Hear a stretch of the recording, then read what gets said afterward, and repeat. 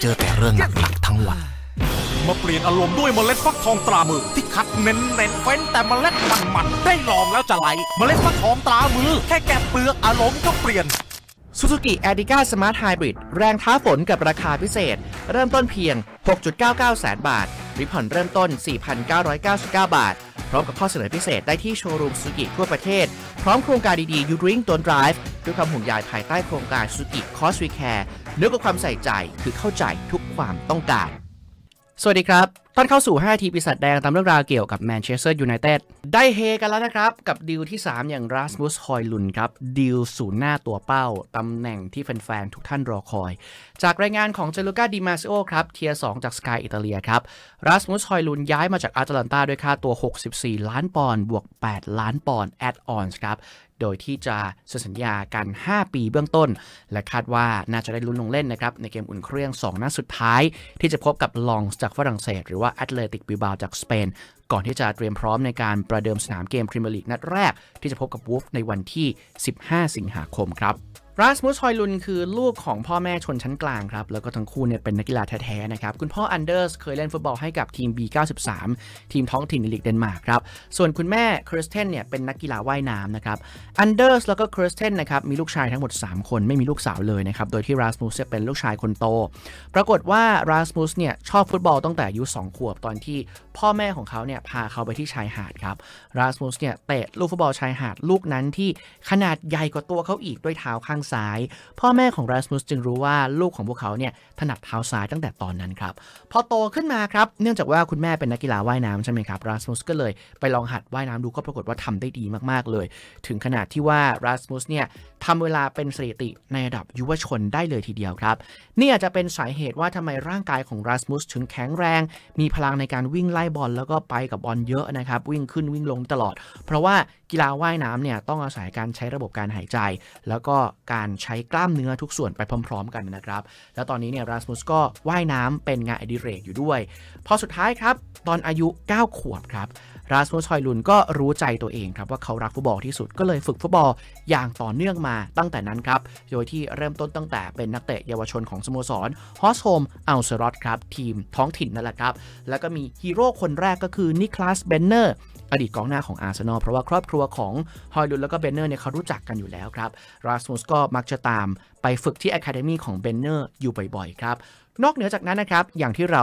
ทราบกันนะครับราสมุสชื่นชอบแมนเชสเตอร์ยูไนเต็ดมากครับ แล้วก็ไอดอลของเขาก็คือคริสเตียโนโรนัลโด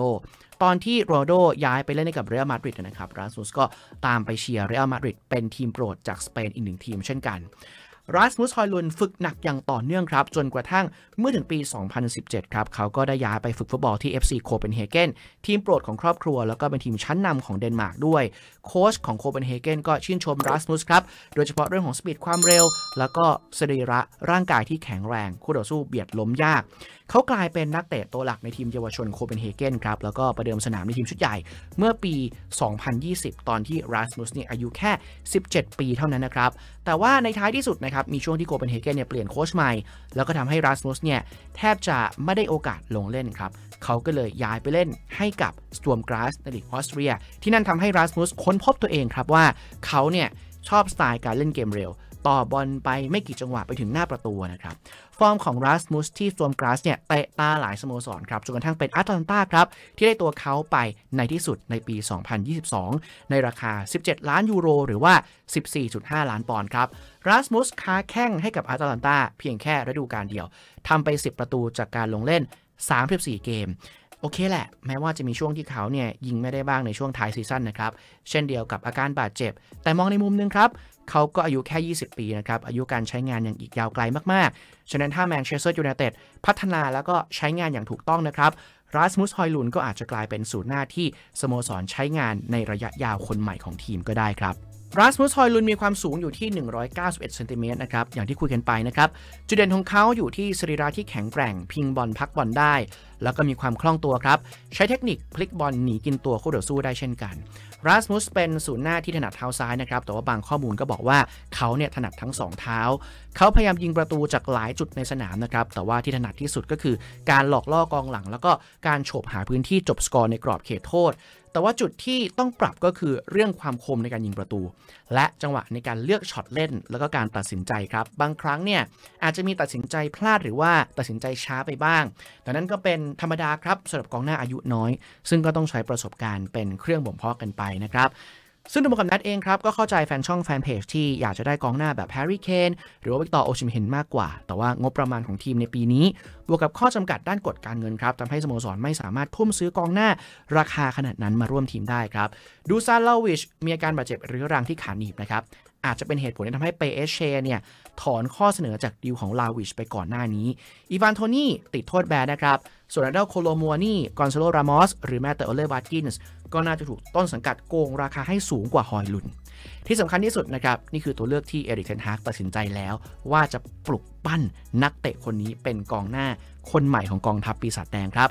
ท้ายที่สุดนะครับก็ขอให้แฟนเพจแฟนช่องเนี่ยให้กำลังใจฮอยลุนกันนะครับ วิจารณ์ได้ครับ ถ้าเขาเล่นไม่ดี ชื่นชม ถ้าเขาเล่นดี แล้วก็ให้ผลงานในสนามเป็นตัวตัดสินนะครับแล้วก็แน่นอนที่สุดสิ่งที่สำคัญที่สุดครับรัสมุสเป็นแฟนบอลแมนเชสเตอร์ยูไนเต็ดครับ ฉะนั้นเขามีใจให้กับเราเต็มร้อย เป็นครอบครัวของเราตั้งแต่แรก ยังไงก็ยินดีต้อนรับนะครับราสมุสวินเทอร์ฮอยลุนขอให้นายมายิงประตูถล่มทลายที่โรงละครแห่งความฝันของเรา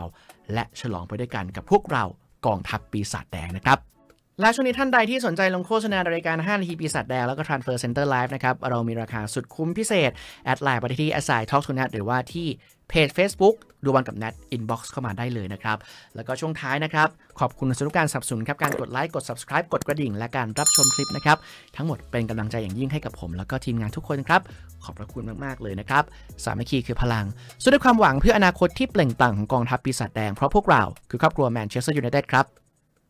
ขอขอบคุณเมล็ดฟักทองตรามือ และซูซูกิ